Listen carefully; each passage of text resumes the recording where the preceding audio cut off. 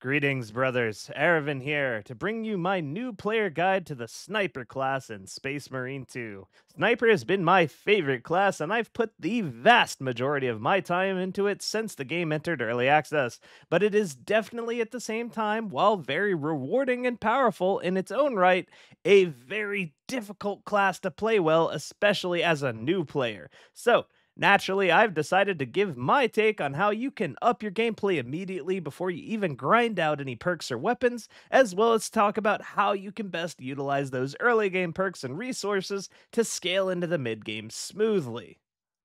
Now, first, we've got to talk about drip, because that's obviously the most important part of the game. If you're like me and don't know much about the 40k universe, but you want to fit in so all the dedicated fans don't look at you funny, rep Raven Guard and ask no further questions, brothers. With that out of the way, let's get into the real guide, though. The sniper is a class with some of the highest damage potential in the game, but also the most limited ammo supply alongside the Melta weapons. With great power comes anemic ammo supply, it seems. But this doesn't mean it's a weak class. It just means that we need to be doing everything in our power to make sure those shots are making a massive impact for our battle brothers. To do that, we need the right tool for the job the Las Fusil. While it is a weapon that requires a charge up, it is absolutely the best primary to be bringing into your matches if you want a primary that's going to be your workhorse from beginning to end game. It sports unmatched damage per bullet potential that can hit every important breakpoint across the entire early and mid game difficulty spread. One shot right from the beginning will be dropping Majoris level threats in one headshot outright or at the very least sending them into the vulnerable state, ready for execution, which, to be fair, can be at times even better, as you'll be providing additional execution iframes and armor to your frontliners. For anyone that can't get the hang of the charge up mechanics, I'd recommend putting your reps in with the carbine. While it'll still take a few shots more than the Fusil, it has far more ammunition and can be used more liberally than the Fusil can. The bolt rifle, while it is a tempting choice, just misses every key breakpoint you could possibly desire, at least in the early game, and is all but guaranteed to put a sour taste in your mouth the moment you step foot into level 5 difficulty missions with it. This is going to get us into our second talking point ammo. You don't have a lot of it, especially if you're going with my recommendations to take the Las Fusil throughout your early progression. So, we need to make sure those shots are meaningful by only utilizing them to take out Majoris level threats and specifically big game hunting for our squad. Stay in the back line and headhunt the enemy big boys because you drop them much easier than everyone else by a mile. When it comes to fighting the Tyranids, not only will you be eliminating the biggest threat on the block in just a few well placed shots, but you're frying all the Minoris around them in the process, sometimes solving entire encounters all on your own with a very modest hit to your fleeting ammo supply. It's through moments like this that you're going to be able to keep feeling like a strong contributing factor within your team composition, which is also something you're going to want to be considering while on the subject. The sniper class can fit into most teams pretty well, but there are definitely allies that you prefer some more than others, such as the tactical. The Auspex scanner from the tactical is going to allow you to save tons of ammo when it's deployed on Majoris threats, thanks to the massive amount of additional damage they receive while scanned. Not to mention allowing you to absolutely shut down extremist encounters and boss encounters with massive chunks of damage being removed from the enemy's health with every shot you fire. With any teammates, the sniper surely has the potential to top any range damage chart. But alongside the tactical, you will absolutely dominate this metric should you hit your shots, no contest, and will feel like a very valuable asset to your squad in doing so all the way through the early game to the end game. And again, even before you've leveled up anything at all. You're also going to want to be paying special attention to all the positions that you see ammo crates spawning in throughout the operations. They have a set amount of spawn locations throughout each operation and move around just a bit when replaying the op. These crates allow you to fire off round after round from the Fusil at even minor inconveniences on your screen, as long as you manage to keep it close by for an endless supply of ammunition. These boxes are absolutely your best friend, and you should camp them as long as physically possible when the opportunity arises, as the ammo supply is the only thing keeping the power of the sniper in check when it comes to the Fusil. The second you take away this limitation, you are able to solo carry shut down the entire enemy opposition straight up, and it feels absolutely crazy to do every single time. Between these crates and utilizing your ammo well to handle Majoris and Extremist level threats in between, you won't be nearly as concerned with ammo as you would be otherwise, while contributing plenty to the Emperor's will. Now, when the ammo does run dry, the sniper is still more than capable at melee combat. The combat knives, while they are more suited naturally to single target, do have higher cleave options later on to help with ward clear if you desire. Or you can go with the more parry focused fencing knives focused on dueling. The starting knife is balanced between the two and offers nothing special in either regard, but it's far from useless. Despite being a dominantly ranged character, not only is there a completely viable melee focused build that you can run in the end game with Sniper that I'll be covering in a later video, you can more than hold your own in any close encounters when the need arises. Getting the parry timings down for Tyranid warriors, Raveners, and Lictors is going to massively improve your dueling capability and survivability. Practice makes perfect when it comes to these threats, so don't be shy when it comes to the opportunities to learn when you are still in that early game mission and the stakes for missing that parry are not a full team wipe just yet.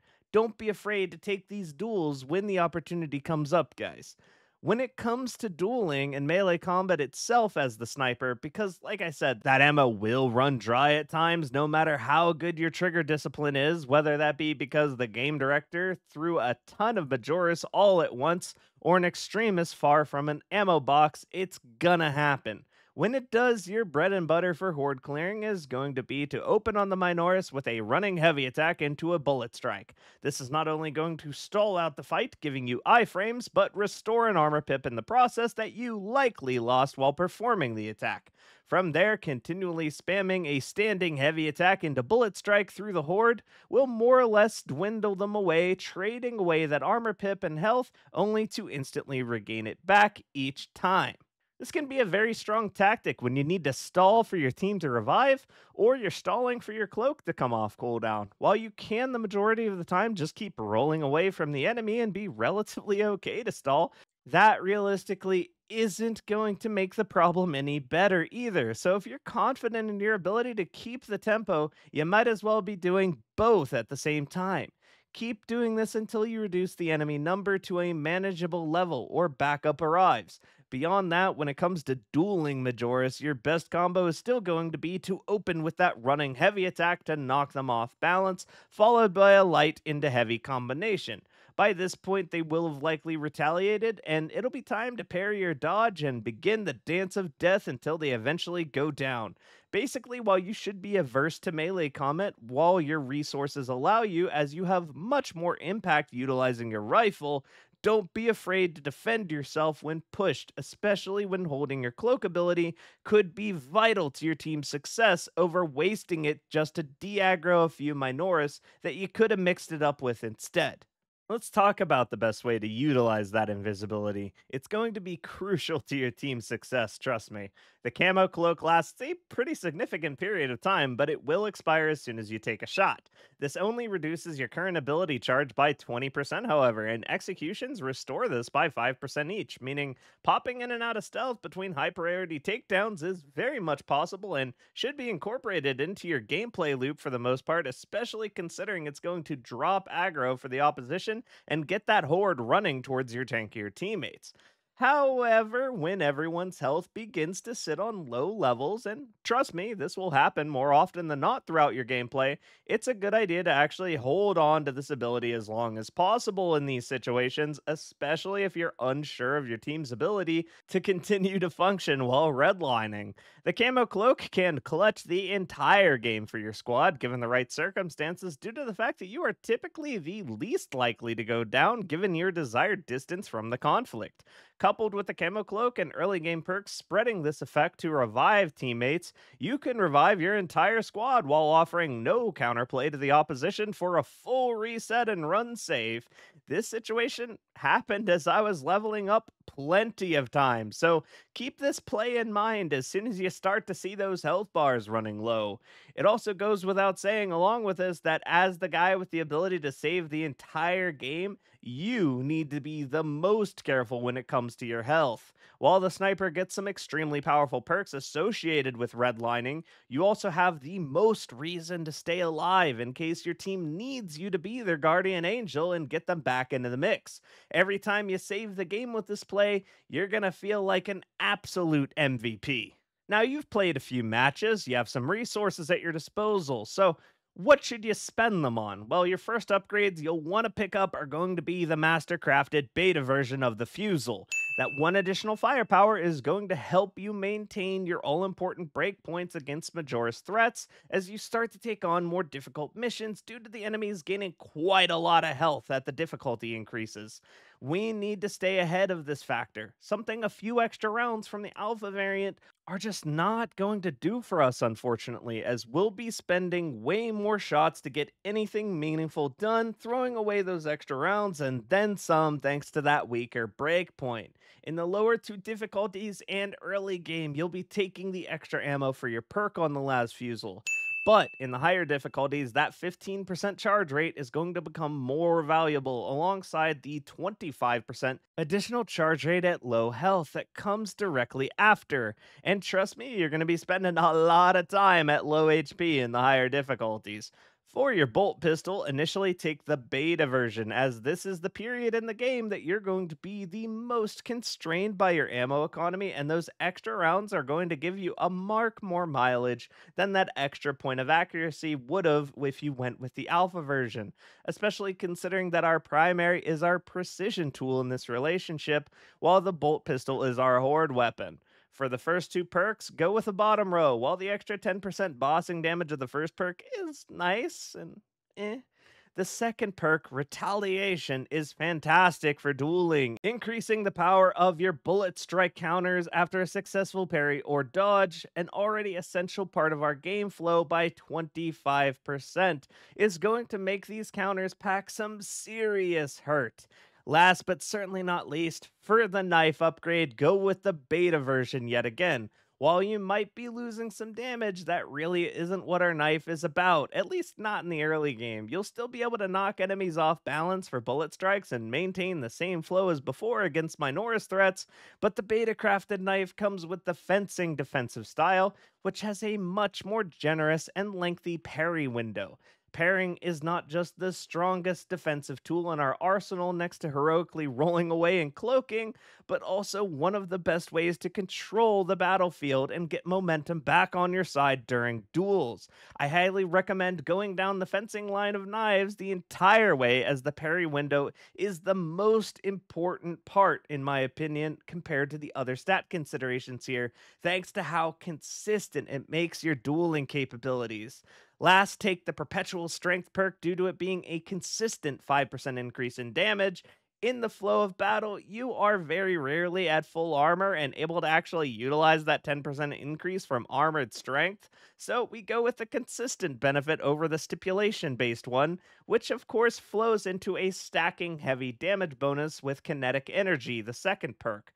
Knives are very fast melee weapons, so we can oftentimes land many heavy attacks in a row during duels with Majoris and Extremis level threats, actually making the stacking bonus quite valuable during lengthy engagements. I'll have full builds and breakdowns on these subjects in the future, but for now, this should be more than enough to get you started. I plan to continue making content on Space Marine 2 well into the game's future, so if you enjoyed this video or found it helpful, like and subscribe for more videos to come. If you're looking for more like-minded individuals to play the game with, my community Discord now has Warhammer discussion, lore, and media channels, in addition to a looking for group channel dedicated to Space Marine 2 for this exact purpose. And don't worry, I never ping anyone for my channel or streams unless you opt into it, so if you want a comfy place to hang out and enjoy the game, this might be the right place for you to do that. That's all for me for now, though, so until next time, may your aim be true. and the Emperor guide your blade, brothers. I'll see you next time.